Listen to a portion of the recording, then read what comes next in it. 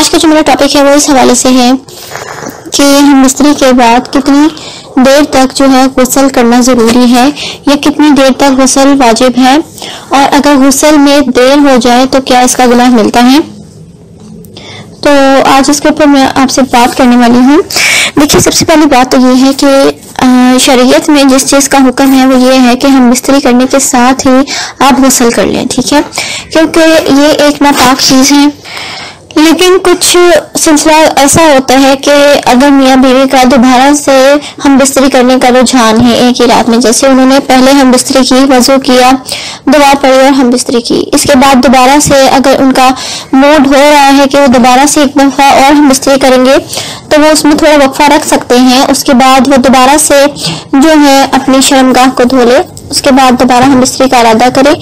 वज़ू करने के बाद जो है हम बिस्तरी करें, ठीक है? उसके बाद जब आपका अरादा ख़त्म हो जाए तो आपको चाहिए कि आप जो है गुसल कर लें, ठीक है?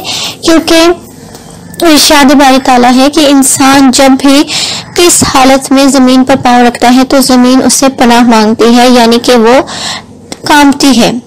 जितने आप ज़मीन पर पाँव रखते जाते हैं तो ज़मीन जो है तोबा इस्तफार पड़ती है कि उसके ऊपर से एक नापाक फर्द गुजर रहा है। तो इसलिए जो है गुस्सल बहुत ज़रूरी है। उन बिस्तरे के आप, बात जो है आपको फौरी चाहिए कि हम गुसल कर लें, क्योंकि यही बेहतरी है और इसी में जो है बरकत भी है। बहुत सी औरतें हैं जो हम बिस्तरे के बाद जो है, वैसे ही किचन में दाखिल हो जाती हैं और घर के काम काज में लग जाती हैं और आखिर में मुवसल करती हैं।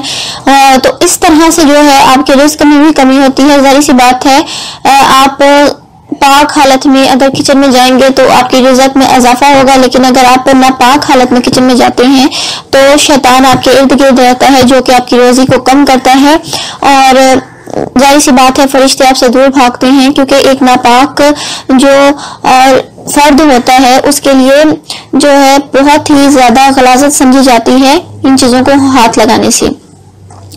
तो कोशिश ये ज़रूरी होनी चाहिए कि अगर आपका मिस्त्री का इरादा है तो आपका गुसल का पहले से इरादा होना ज़रूरी है। क्योंकि बहुत से लोग हैं, वो कहते हैं, जी, सर्दियों में जो है हम फौरी गुसल नहीं कर पाते, पानी बहुत ठंडा होता है।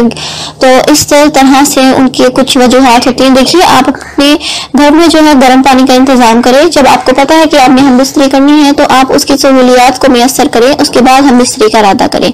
क्योंकि अगर मियाँ बीवी का ताल्लुक बहुत ज़रूरी है तो उसी लिहाज से जो दीन के अहकाम है, उनको निभाना भी बहुत ज़रूरी है, क्योंकि इंसान बिला वजह किसी चीज़ में, यानी कि किसी गुनाह में मुबतला हो जाए, उससे अच्छा है कि आप जो है अपने इकदाम को बेहतर करें और अपने रूटीन को ठीक करें, क्योंकि ज़िंदगी हमेशा एक बेहतरीन रूटीन से ही चलती है। अगर आपकी ज़िंदगी में रूटीन नहीं है तो फिर आपकी ज़िंदगी भी नकारा हो जाती है आराम आराम से।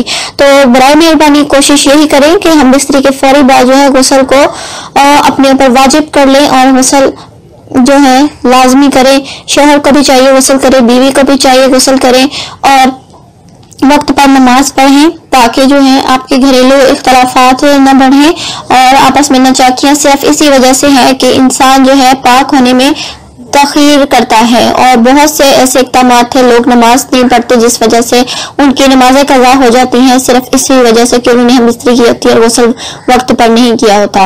उम्मीद करती हूँ मेरी आज की वीडियो आपको अच्छे से समझ में आई होगी। मजीद आपका कोई सवाल है तो कमेंट बॉक्स में अपनी राय ज़रूर दीजिएगा।